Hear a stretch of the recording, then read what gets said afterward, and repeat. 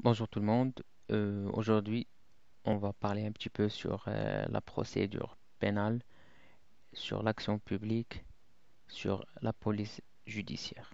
Donc, commençons. Bonjour tout le monde. J'espère que vous allez bien et je vous souhaite euh, très bon courage. Donc, la police judiciaire. L'action publique. L'action publique, au terme de l'article 2 du Code de procédure pénale, toute infraction donne ouverture à une action publique pour l'application des peines si un dommage a été causé à une action civile en réparation à ce dommage. Donc, le monsieur là, c'est monsieur euh, qui, est le procureur général du roi près de la Cour de cassation. Bien qu'elles découlent du même fait des lectures, l'action publique et l'action civile sont distinctes l'une de l'autre. L'action publique soit d'ordre public, ainsi le ministère public qui a la charge de l'exercer ne peut ni transiger avec l'accusé ni renoncer à l'exercer, contrairement à l'action civile qui est d'ordre privé. L'action publique et l'action civile sont indépendantes l'une de l'autre.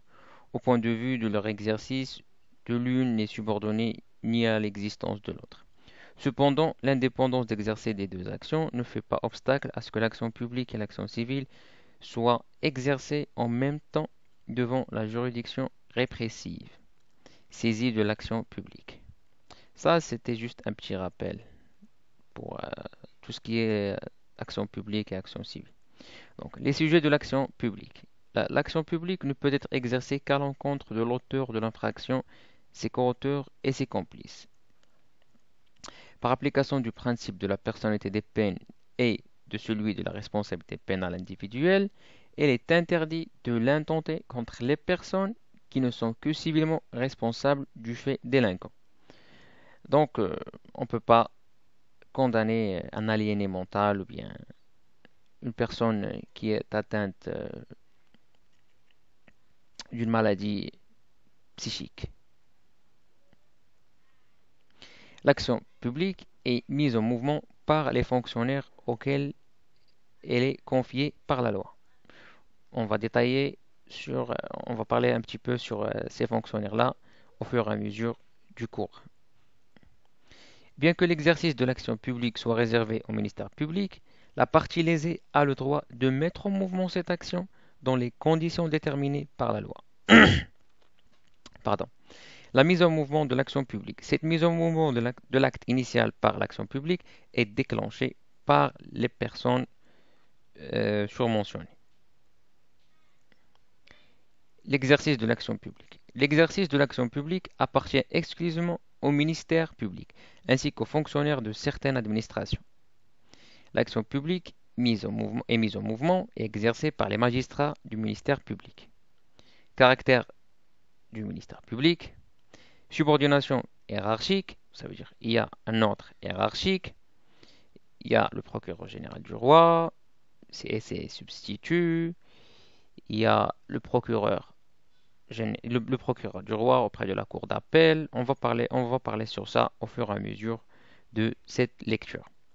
L'indivisibilité, l'indépendance, ça veut dire le ministère public doit être indépendant de toute influence extérieure irrécusable et irresponsable. On ne peut jamais être, condamné à des dommages et intérêts envers l'accusé acquitté. L'exercice de l'action publique peut être confié aux fonctionnaires de certaines administrations auxquelles il est confié par la loi. La partie lésée ne peut que mettre en mouvement l'action publique sans l'exercer. L'extinction de l'action publique l'article 4 et 5 du Code de procédure pénale, l'action publique s'éteint par la mort de la personne poursuivie, chose qui est normale. L'amnistie, l'abrogation de la loi pénale qui incrimine le fait, une décision ayant acquis la force probante de la chose jugée, par transaction lorsque la loi en, dispose expressément, par retrait de la plainte lorsque celle-ci est une condition nécessaire de la poursuite, sauf si la loi en dispose autrement. L'article 4 du Code de procédure pénale. Le retrait de la plainte. Par exemple, on va donner exemple par euh, un couple, un conjoint qui vient de voler euh, euh, sa femme. Sa femme a décidé d'intenter une action en justice. Il a été condamné à une peine. si la femme a retiré cette plainte, donc l'action publique est s'éteint automatiquement.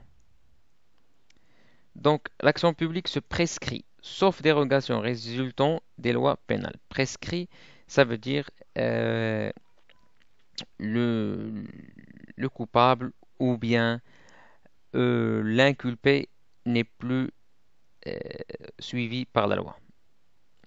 Par 15 années résolues à compter du jour où le crime a été commis.